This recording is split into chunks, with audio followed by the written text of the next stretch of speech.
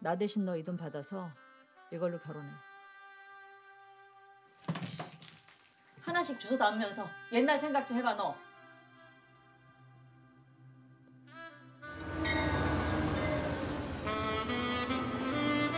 모양 못 떠나는 거미처럼 빙글빙글 빙글빙글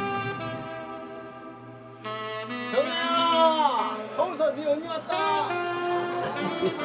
아이고 우리 딸내미 일 도와주려고 이딴 식으로? 지금 정이랑 아줌마 안 보여? 장롱으로 좀 먹었다 안 도와주셔도 괜찮아요. 이제 올라가세요. 언니 이따가 내가 만든 노래 불러줘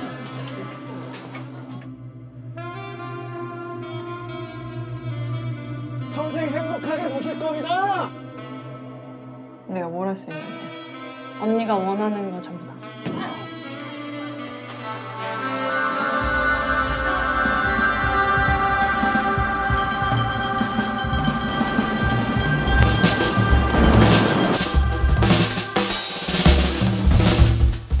그날 잔디에 누워서 단잠을 자고 김치찌개에 밥 두 그릇을 비웠다. 맛있었다.